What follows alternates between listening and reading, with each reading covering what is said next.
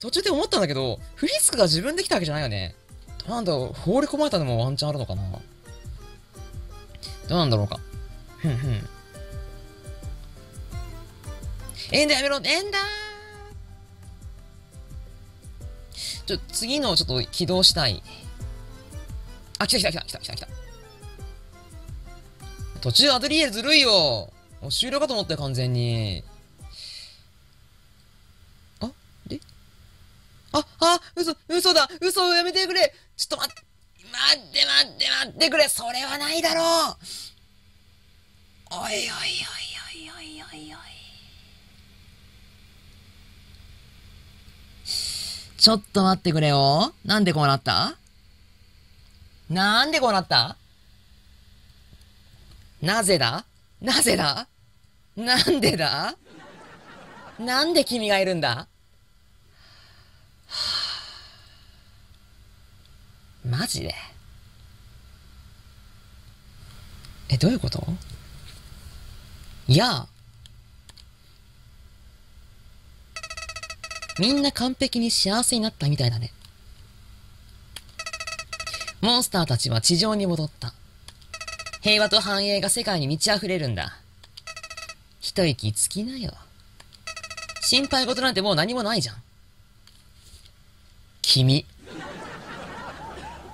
君よ。てんてんてん。まあ、一つだけ、最後の脅威があるけれど。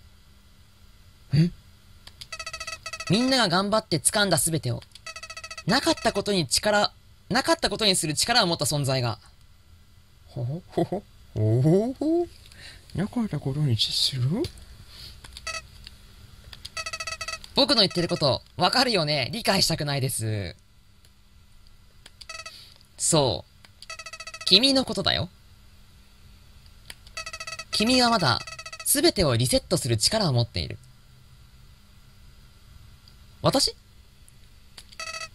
トリエルもサンズもアスゴアも、アルフィスもパピルスもアンダインも、君がそうしようと思うだけで、みんなこの時間軸から引き引き離されて、すべてが始まる、その前まで戻されるんだ。誰も何も覚えていないままね。君は君がしたいようにできるだろうね。その力、僕はその力を知っている。君が必死で抑えていた力、だよね。僕だって本当は、その力を使いたかった。でももう、すべてをリセットするなんて、僕は、僕だったらそんなことできっこない。あんなことの後だったらね。だからお願い。みんなをそっとしておいて。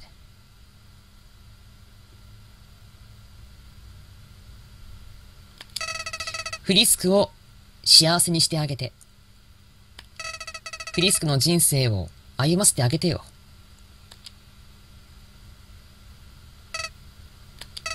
それでも、もし僕が君の気を変えられないなら、もし君が本当に全てを消すなら、僕の記憶もちゃんと消すんだよ。ごめん。こんなこと多分もう何百回も聞いたよね。うん。それじゃ。また会おうね。キョンピ。